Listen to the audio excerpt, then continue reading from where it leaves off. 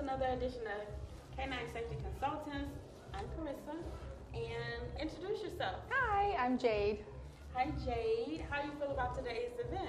Uh, I feel good. It was beautiful. Everyone came out and supported um, the Peacher family, so it was amazing in K9. Yes. What's your connection? Um, so Steve, which is one of the dog trainers, um, he is my fiance. So I came in through that way. So we're more like family, um, um, and they're just amazing. Nice. yeah. Do you like dogs? Do you have any dogs? Yes, I love dogs. Uh, we have six dogs together.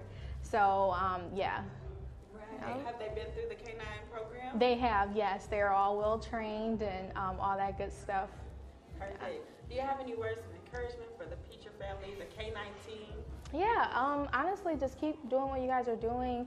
Um, you guys are very encouraging and blessed beyond words. Um, bless my life in many ways, and I love you guys. You guys are my family. Nice. Yes. All right. Well, thank you so much for your time, Jade. I Yes. appreciate you being here. Yes, thank Uh, you. See you soon. All right, thank you.